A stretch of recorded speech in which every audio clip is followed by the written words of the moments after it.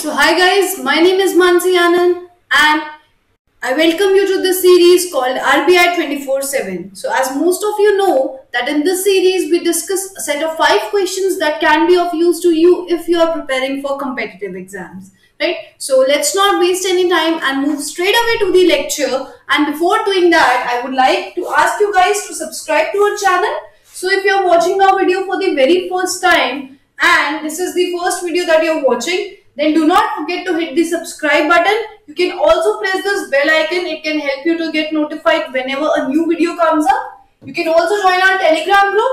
On this group, you can post all your doubts and queries and we'll try to take them up as soon as possible whether uh, on the on telegram itself or in these sessions right so here is your first question for today okay this question says recent trends show recent trends show that the gap between number of Jandhan account holders and RuPay debit card holders continues to widen. Okay, the gap between them is increasing, it is widening. Which of the following can be inferred from this situation? And the correct option for this question is option D. So option D means this one So guys, here you have to understand first of all the meaning of RuPay. You should know what is RuPay, what does it do. So you must have noticed RuPay return on new cards that are being issued by banks lately. Right, so RuPay is basically a network provider.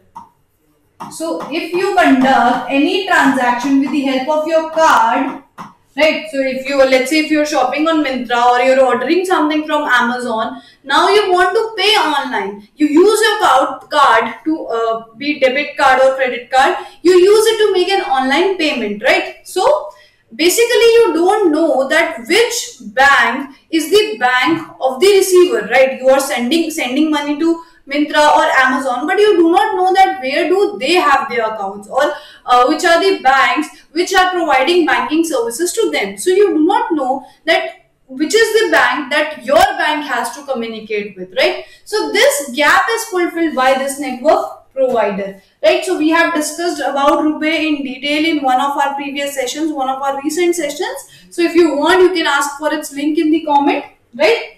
So now what we and uh, recently finance minister Nirmala Sitharaman she also uh, she also made a statement pushing banks that you should uh, issue RuPay cards because we have to give competition to uh, international giants like Visa and MasterCard, right? So, RuPay is being promoted by government itself.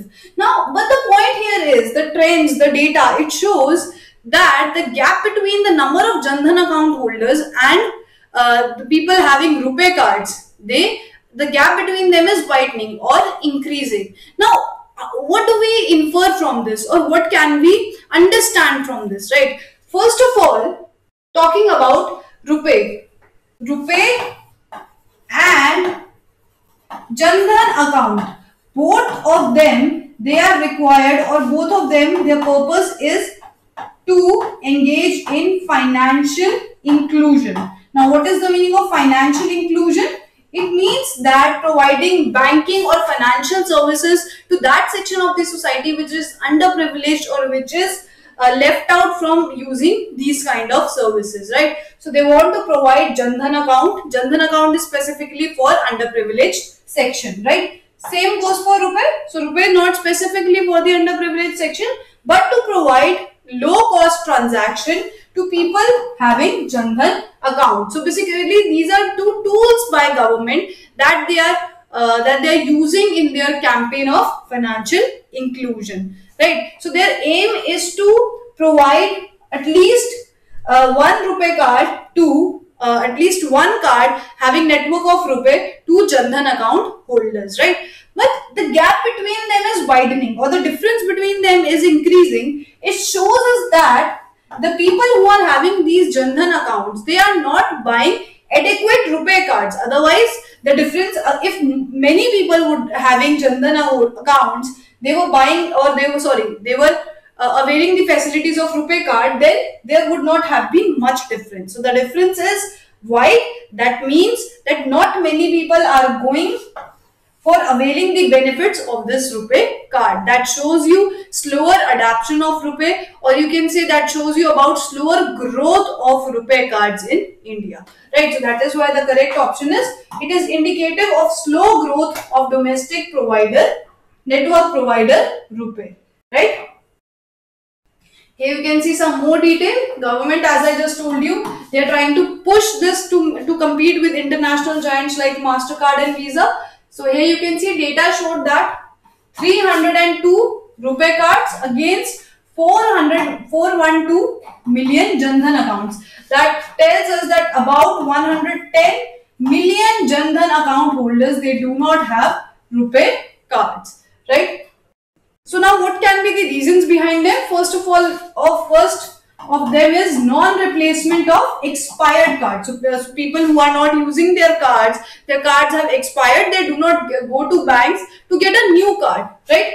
Apart from that, non-issue of cards with new accounts. So banks are not even, uh, banks are also lacking in their job of pushing the customers for using these cards. See, here what we can imply is that both of the parties, the bank who is providing the card and the customer of the bank or the account holder who is using the cards, both of them are not very interested in using the card facilities, right? So people, that is why they do not use their cards, their cards, they get expired and they do not get, uh, go to bank for getting a new card, right? And one more reason that is being cited here is government's policy to discontinue merchant discount rate. So guys, if you remember, we have discussed MDR in one of our previous sessions.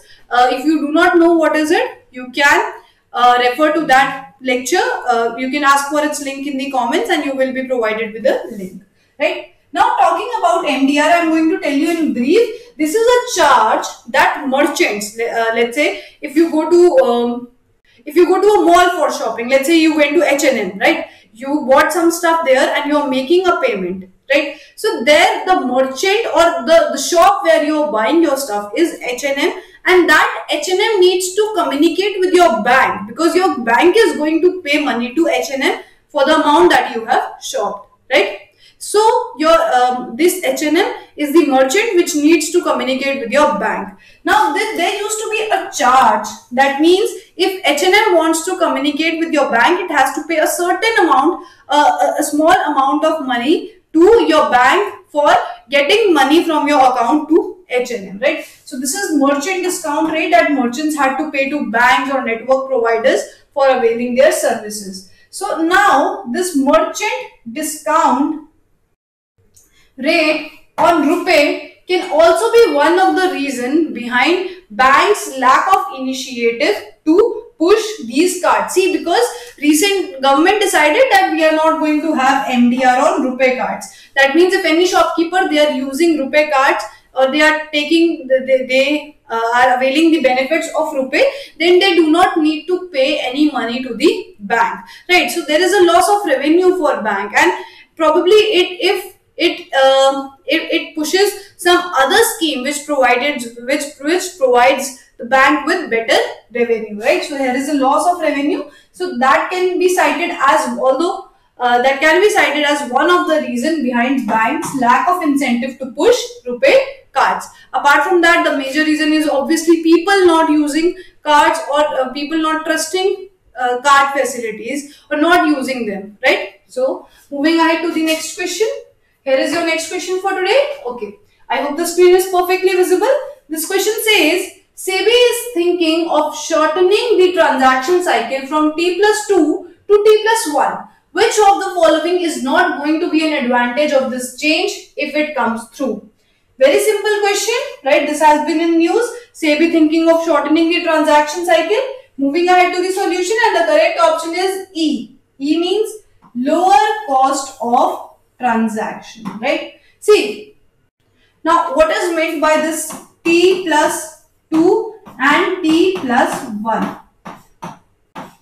Simply, t means the day on which you are conducting your transaction, right? So, if I am conducting any transaction today, then it will take 2 days to complete and to reflect in my account. Whereas, in this, the transaction will take only one day to reflect in my account. So, basically, currently, we are following a system of T plus 2. That means any transaction takes 2 days. The day on which it is conducted plus 2 days, right? But now SEBI is thinking that let us do some uh, infrastructure re revamping and let us try to bring it at this system which is T plus 1 so that we can complete the transactions really quickly with a rapid pace, right? So obviously there are going to be many advantages associated with this. What are the advantages? Reduction of default risk because see if the transaction is completed at a faster pace, there is lesser chance of one party not paying to the other party or one party not fulfilling their part of the contract, right? So, reduction in default risk because transactions are completed at a higher speed. Improved market confidence. Obviously, if there is a reduction in market risk and uh, markets are becoming faster or markets are becoming more efficient, then there is going to be market confidence. System is becoming more efficient due to rapid transactions after that, increase liquidity because see, if transactions get completed uh, earlier or if transactions get completed uh, uh, at, at, at a high speed, then what is going to happen? The money is going to be freed soon. So capital will be easily or readily available. If transactions complete early, whatever money has been made by one party can be used at its earliest, right? So that is why it frees liquidity in the system. But if you want to make these transactions swift, you need infrastructure for that. Uh, you need better personnel for that. And for that, you need to increase. For that, the cost of transaction is going to be higher. So this is not one of the advantage of shifting to this system, right? Here you can see. So say this proposal of SEBI of shifting to T plus 1, this is not being very much appreciated in the industry. Here you can see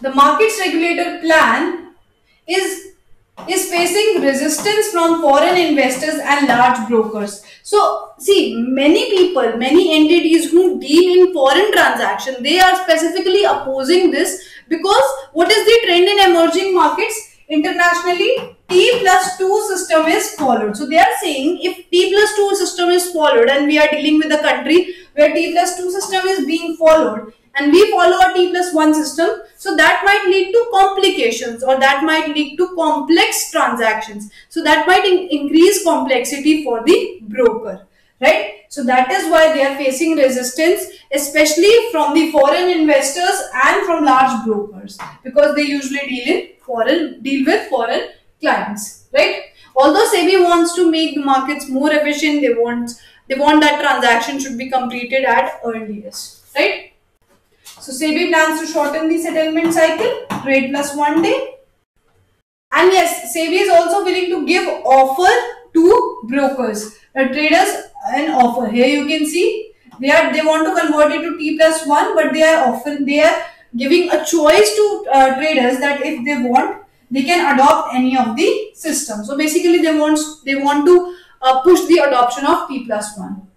This is going to make operations more complex in India and a costlier uh, experience. So this is going to make India a costlier market than other emerging markets, which might deter, which might repel investors from country. So all the emerging markets aligning towards T plus 2. This is going to make India an exception, create lot of problems, create lot of hurdles while conducting the transactions right? I hope now you uh, you are thorough with this. You understand that why is this proposal facing resistance? Moving ahead to the solution uh, sorry moving ahead to next question. Here is your third question for today which says below are some statements regarding austerity measures which of the following is or are correct right? Very simple questions talk about talks about austerity measures right first of all you should know that what is the meaning of austerity measures Moving ahead to the solution and the solution is that the correct option for this question is B. B means only one is correct, rest two are not correct, right? So now let us first try to understand the meaning of austerity measures. Austerity means cutting down on your expenses, right? Whenever we have talked about crisis, we have talked about Eurozone crisis in one of our sessions. So there we learned that whenever a country is debt ridden or it has too too much debt it has to pay a lot of entities then what it does is it curtails its expenditure or it reduces its, its expenditure it removes the subsidies it, is, it does not provide scholarship or uh, any type of benefits to the public they try to cut the benefits that they are providing to the public right so this is known as austerity measures so austerity measures is a popular term which is used in relation to any crisis. Because see, whenever a country is facing a crisis in which it is debt ridden, it needs to borrow. See, you try to understand in this way. If you have to take, if, if you have lent your friend some money, right, right, now that friend is facing financial difficulties, difficulties and uh, he is unable to pay you back. Now you tell your friends, but uh, you tell your friends that you uh, you should not go out to eat you should save money you should not watch movies at theaters or you should not hang out with your friends. You save money and give my money back to me right so similar situation happens with countries when they are not able to pay their debt back debt in the form of bonds that they have taken from the market it can be domestic investors that they who reside in their own country or they can be foreign investors. So whenever a country is facing any debt laden situation, they are debt ridden, they the they have to manage money somehow, right? Either they can print money or they can cut their expenditure so that they save money and they try to pay for their debts, right? So this is used in form of crisis. So I think we have talked about this in context of Eurozone also, how See, countries in Europe, they faced some crisis. They were facing huge debts, but they could not print new notes because obviously the monetary union that is there, right? So that gives power to only one central bank in case of many countries. That is why they were unable to print the notes and they, uh, they were unable to print the money to fulfill their debt. That is why they were told by, so usually what happens in this case, these countries who are debt ridden, who are facing difficulties, they go to multilateral institutions like World Bank or IMF to borrow.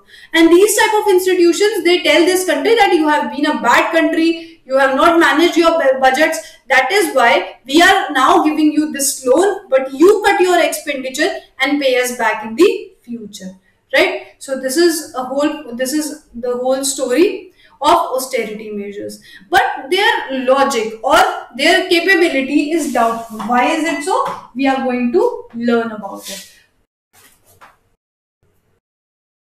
Okay austerity measures attempts to significantly curtail government spending in an effort to control public sector debt Particularly, nation is in jeopardy of defaulting on its bond when the nation is unable to pay their debts. Became imperative in Europe where Eurozone members they do, did not have the ability to address debts by printing their own currency because I have told you in this in Eurozone crisis also. So you should know why the central banks of the countries which were debt laden in Europe, they were not able to print their notes, right? So as their default risk increased, so obviously there was a threat that these countries are going to default, they will not be able to pay their creditors back. Creditors told them that they should cut their spending, save money and give it back to their creditors. Now see, the credibility of austerity measures is very doubtful. The supporters of austerity measures, people who support this, they say that massive deficits can suffer, suffocate the broader economy thereby limiting its tax revenue. So they say if a government cut its uh, cut its expenditure, then it can obviously save some money and its financial condition is going to improve because its credit worthiness will improve once it will pay back its creditors by saving the money or by cutting down on its expenditures on public, right? But the opponents of austerity measures, they say that the problem with austerity measures is, see, whenever we are going through a crisis, whenever there is not enough money in the economy, the economy is going through crisis, uh, government needs to spend a lot to boost the economy, right? And here in this situation, in this situation of crisis, where the government needs to spend, the governments are being told to cut their expenditure. This is going to worsen their problems. They will not be able to recover from that recession. Because for recovery they need to spend on their public. Because if they spend they put money into hands of their public then they are going to create demand. They will create demand which will which is going to benefit uh, businesses. Businesses are going to expand their production for which they will hire people and the cycle goes on because of this employment increases and after employment what happens is more demand. So this cycle goes on and in this way uh, countries they recover from their from their recessionary situations. Right? So this is the view of opponents who say that we should not ask a country who is already in a crisis to follow austerity measures because this is going to reduce government's expenditure. This is going to worsen the problem of the country. One more aspect here uh, which is not mentioned here. If it is not easy for government to cut its expenditure because see if you are providing subsidy to your public then you take it back then public is going to react uh, public is going to show you some uh, some protest because uh, people are used to getting such benefits. When these benefits are snatched away from them, they are not going to sit quietly. They are definitely going to protest, right? Or if people are not getting, if children are not getting scholarship, if government is not spending on them, that might create problems with, among their public, right? And that might lead to uh, deterioration of vote bank for the existing governments. Governments they do not want to do that. That is why austerity measure is is uh, is difficult for any government to carry out on the risk of their own political power.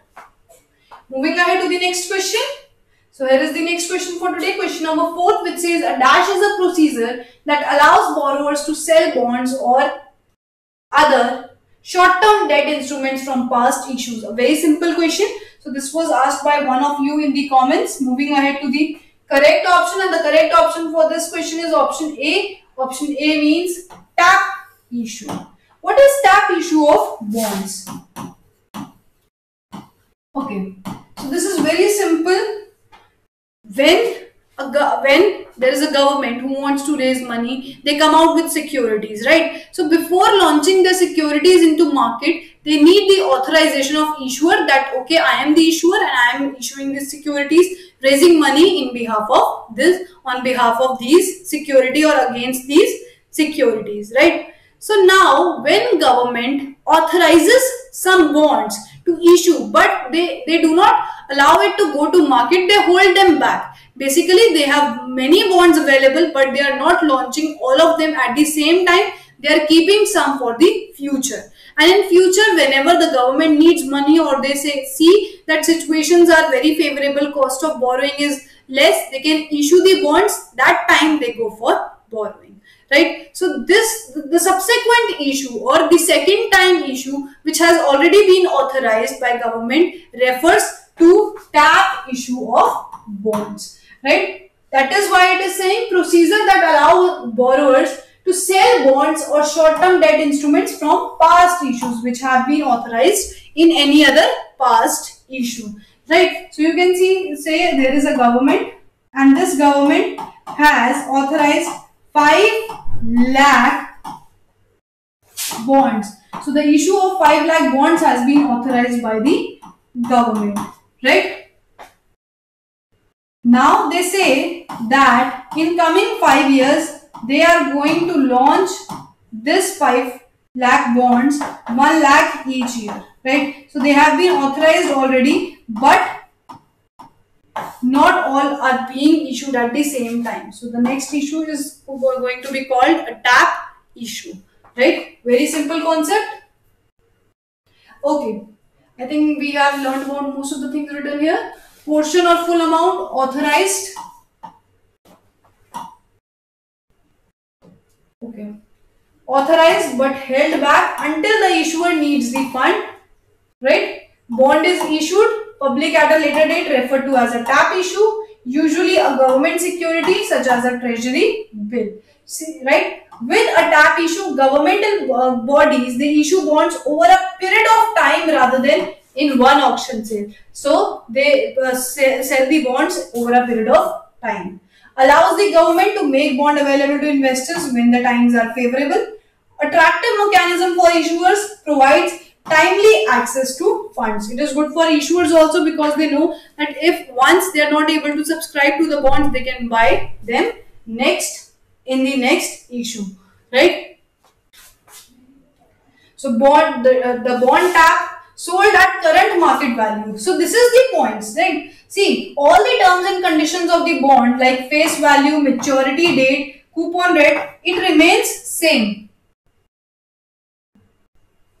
So I told you that government, it is going to launch 1 lakh shares each time and it has authorized a total of 5 lakh bonds, sorry bonds, right? It has authorized 5 lakh bonds going to issue 1 lakh in each year. So the common details for all these bonds, the face value, maturity date, coupon rate is going to be same in the initial series but what is going to be different? Their price.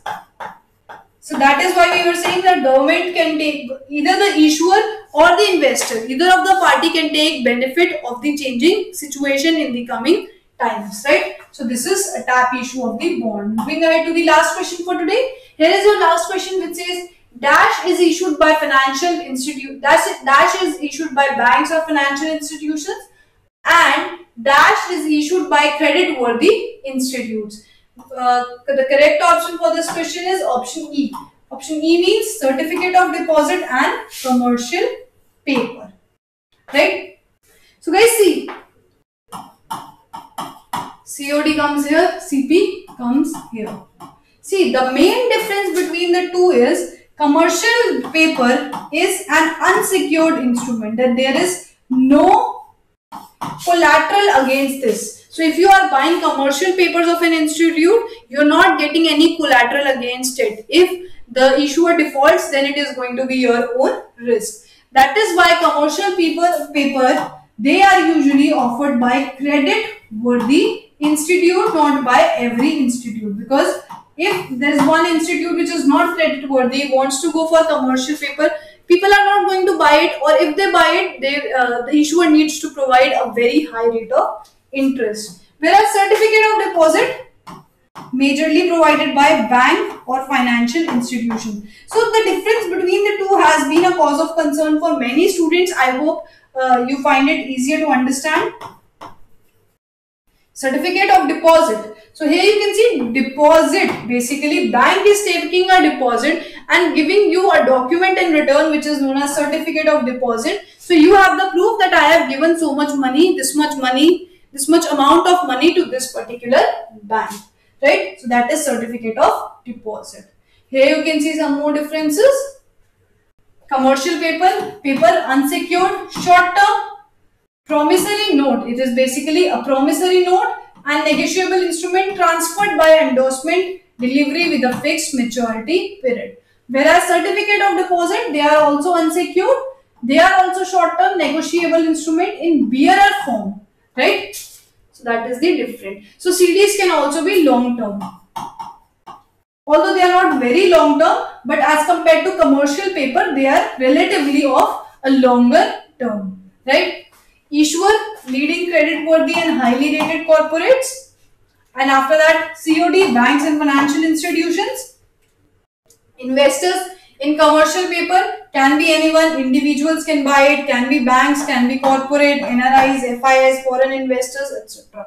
Whereas in case, case of certificate deposit, individuals, corporations, companies, trust associates. So this is basically a comparison between the two commercial paper and certificate of deposit. So guys, this is it for today. These were the five questions.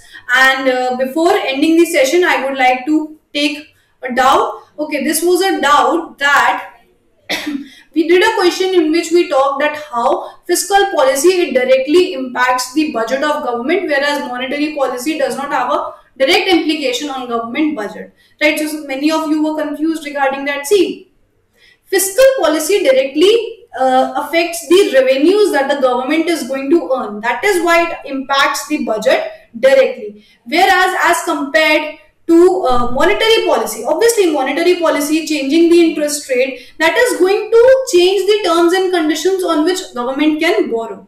right? So it basically changes the market rate or it basically changes uh, interest rate for the new contracts that are going to happen. Obviously, it affects government borrowings, but see, when government is going to uh, borrow against this market interest rate and whether the investors will be interested to buy at that interest rate or not, there are many factors involved and also the burden is not going to be put only on one year of interest. It is going to be, it, it will start in uh, the future, right? So that is why the direct impact of fiscal policy is there on government budget as compared to monetary policy. Monetary policy does not have a direct impact on government budget, right? So guys, this is it. And thank you for being here. I hope your studies are going really well and take your uh, and take your time for your studies out. Keep keep, uh, keep yourself healthy and thank you for being here. I will see you in the next session.